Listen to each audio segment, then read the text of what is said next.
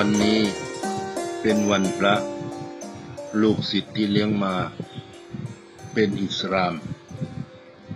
ได้นำอาหาร มาถวาย ด้วยความกตัญญูกตเวทิตาธรรม ความกตัญญูกตเวทิตาธรรม มีอยู่ในบุคคลใด มีในหัวใจบุคคลใด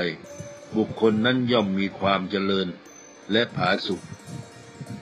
เพราะว่าคนมีกตัญญูรู้คุณคนเนี่ยจะไม่ตกอับ ไปอยู่ที่ไหนก็จะเป็นข้าวเปลือก งอกงามงอกได้ประโยชน์ผลแก่สถานที่นั้นจนที่อาศัยนำมาบริโภคกินได้เลี้ยงชีวิต เพราะฉะนั้นเรื่องศาสนาเป็นเรื่องของความเชื่อถือแต่ละศาสนา แต่ความกตัญญูมโนธรรมของคนนั้น เราจะลืมเสียไม่ได้ ราะท่านเคยเลี้ยงเรามา ท่านเคยอุปการะเรามาก่อน เมื่อท่านแก่เท่าชราลง เราในฐานะที่ท่านอุปการะคุณมา เราก็ต้องไปดูแลท่าน เรื่องศาสนาคือความเชื่อถือแต่ละบุคคล เอาไว้ต่างหากส่วนความดีที่มีต่อกัน เราต้องตอบแทนต้องรู้คุณ เพราะฉะนั้นจะเป็นศาสนาใด ๆเขาก็สอนให้คนเป็นคนดี แต่มีแนวสอนต่างกัน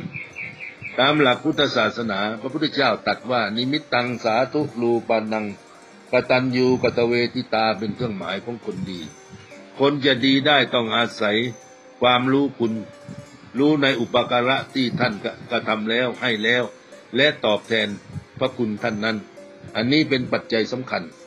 ใครก็ตาม ถึงมียศมีตำแหน่งมีเงินมีทอง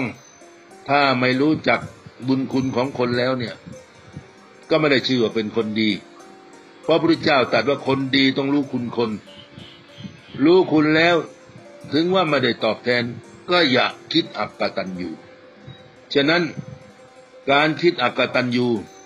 เป็นทางแห่งความหายนะของชีวิต บัณฑิตไม่สรรเสริญ ฉะนั้นสาธุชนทั้งหลาย เราแยกแยะกันให้ออก ระหว่างศาสนา อย่าเอามาพูดคุยกัน เรื่องศาสนาความเชื่อของแต่ละบุคคล ความศรัทธาของแต่ละเผ่าพันธุ์ เราเป็นพุทธศาสนิกชนเราเป็นชาวพุทธ เราก็ต้องยึดหลักในพระพุทธพระธรรมพระสงฆ์พระรัตนตรัยคำสอนของพระพุทธเจ้า ที่พระอริยสงฆ์เจ้าสืบทอดมาจนถึงเราสองพันร้อยกว่าปีแล้วก็ศาสนศาสนธรรมคำสั่งสอนของพระพุทธเจ้า ที่ทรงตัดสั่งสอนไว้ในครั้งพุทธกาลที่ทรงพระชนชีพอยู่ ก็สืบทอดมาด้วยพระอรหันต์เจ้าทั้งหลาย ตกทอดมาถึงเรา เราก็จึงได้เดินรอยตามพระธรรมนั้น พระธรรมคือเป็นสัจธรรมคือความจริง ความจริงก็คือพูดเรื่องเหตุเรื่องผล พูดเรื่องความจริง ไม่พูดเรื่องเท็จ ไม่พูดเรื่องโกหก ถ้ามีใจก็ใจจริง ถ้าคบกันก็คบกันจริง ๆ ถ้าเป็นเพื่อนกันก็ต้องเป็นกัลยาณมิตร เป็นเพื่อนที่ หวังพึ่งได้ ในยามตกยาก ในยามตกทุกข์ก็ต้องดูแล ยิ่งไปไปกว่านั้นก็พ่อแม่เป็นสำคัญ คือเลี้ยงบุตรธิดามา เมื่อเราเติบโตแล้วมีงานมีการทำแล้ว พ่อแม่เป็นประดุดดังกอไผ่เราเป็นประดุดดังหน่อไม้ที่แทงหน่อขึ้นมาได้ ก็อาศัยกอไผ่นั่นแหละ คือพ่อและแม่ พ่อแม่เป็นผู้ที่เลี้ยงดูมา ให้กำเนิดมา จนเราได้มีวันนี้เราอย่าลืมพระคุณท่าน เมื่อท่านยังมีชีวิตอยู่เราก็ตอบแทนพระคุณท่านโดยการเลี้ยงดู และหล่อหลอมจิตใจของท่าน อย่าไปทำอะไรเพื่อทำลายจิตใจของท่าน เราต้องพยายามกระทำสิ่งที่ท่านปรารถนาในทางที่ถูก ในทางที่เป็นกุศล เราก็สนองงานท่าน ไปเลี้ยงดูยามเจ็บป่วยก็ไปดูไปแล อย่าปล่อยจ้างคน อย่าปล่อยจ้างคนนั้นคนนี้ไปดู อย่าปล่อยให้นอนอยู่โรงพยาบาลคนเดียว อย่าไปปล่อยไว้บ้านคนแก่ ตอนเราเด็กๆมีลูก พ่อแม่มีลูกห้าคนเลี้ยงได้หมดนะแต่แม่คนเดียวพ่อคนเดียวเนี่ย ลูกไม่ค่อยดูแลไม่ค่อยใจใส่ สังคมในปัจจุบันนี่แย่ แย่ลงมากๆอาตมาเห็นตามข่าว เห็นตาม YouTube ที่ออกกัน บางคนพ่อแม่ลำบากเดินก็ไม่ได้ อะไรก็ไม่ได้ แต่ลูกหายหมด ลูกไม่มาเหลียวดู เราไม่มีเงินมีทอง แต่เราก็ใช้กำลังกายของเราที่มีอยู่นี่แหละ มาดูแลท่านมาช่วยเหลือท่าน ลักษณะเช่นนี้ก็น่าจะมีในหัวใจของลูกตัวไป ฉะนั้นคนทั้งหลายเนี่ยจะเป็นนายกจะเป็นรัฐมนตรีจะเป็นนายพลเป็นนายพันเป็นผู้กับเป็นผู้การ เป็นผู้บัญชาการตำรวจเป็นผู้จัดการทหารบกทหารเรือทหารกาศจะเป็นอะไรก็ช่างเถอะ เป็นเศรษฐีมหาเศรษฐีก็ช่างเถอะ ต้องเป็นต้องรู้คุณของท่านที่ให้อุปการะเรามา แม้แต่คำสั่งสอน ชี้แนะให้เราเป็นคนดี ชี้แนะให้เรามีวิชาชีพ สั่งสอนให้เรามีวิชาชีพ เราก็ลืมคุณท่านไม่ได้ เราต้องตอบแทนพระคุณท่าน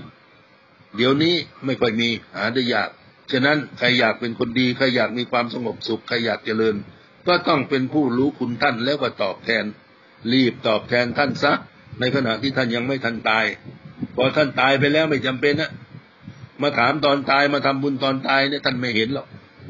เพราะท่านล่วงลับไปแล้ว มาเยี่ยมท่านตอนยังมีชีวิตอยู่นี่แหละ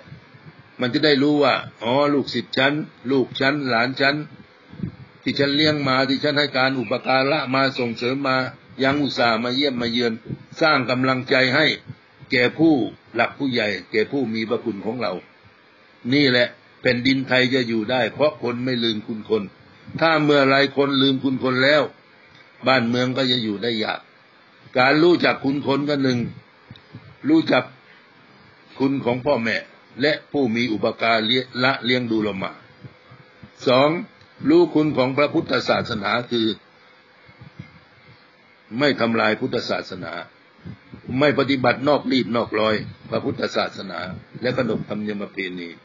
และรู้คุณของสถาบันมหากษัตริย์ คือไม่จ้วงจับ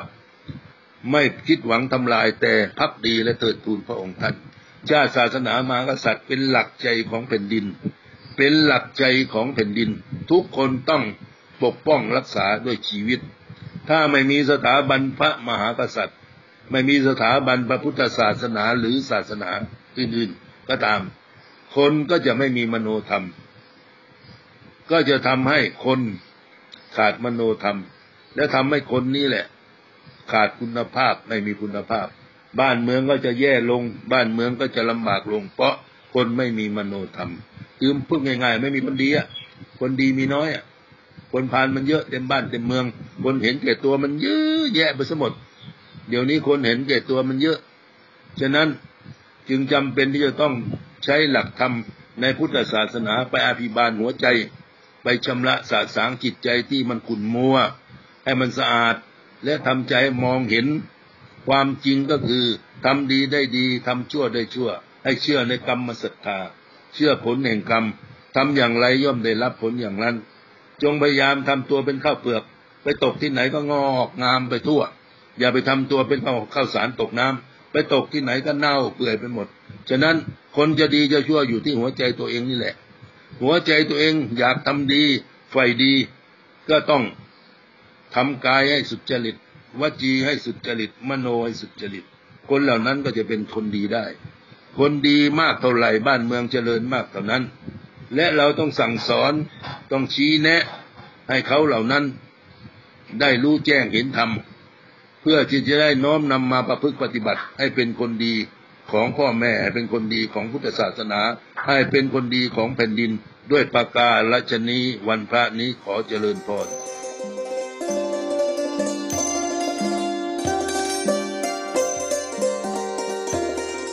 เจริญพรเนี่ยโยมสาธุชนพุทธบริษัททั้งหลาย ที่พระบาทสมเด็จพระวชิรเกล้าเจ้าอยู่หัวทรงประกาศพระราชทานปฐมบรมราชโองการว่า เราจะสืบสารต่อยอด และ ปกครองแผ่นดินเพื่อประโยชน์สุขของอาณาประชาราชของประเทศไทย อันนี้เมื่อตมาได้อ่านพระปฐมบรมราชโองการของพระองค์แล้ว มีความเลื่อมใสศรัทธาที่พระองค์ท่าน มีพระราชดำริและวินิจฉัยว่างานที่พระบาทสมเด็จพระภูมิพลอดุลยเดชมิตราธิเบศได้กระทำได้กระทำไว้เมื่อเจ็ดสิบปีที่ล่วงผ่านมา และงานใดที่เป็นประโยชน์ ก็ล้วนทุกชิ้นทุกอัน พระองค์ก็สืบสารต่อยอดในงานเหล่านั้นก็นับว่าพระองค์ทรงเป็นพระมหากษัตริย์ผู้ทรงไว้ถึงทศพิธราชธรรมอาตมาจึงถือปฐมพระองค์ราชองค์การของพระองค์นี้มาดำเนินงานในการสร้างงานที่อาตมาค้างคาอยู่ งานค้างคาที่อาตมากำลังดำเนินการอยู่นี้ เป็นงานเกี่ยวเนื่องกับราชวงศ์จึงจำเป็นที่สุดต้องขอ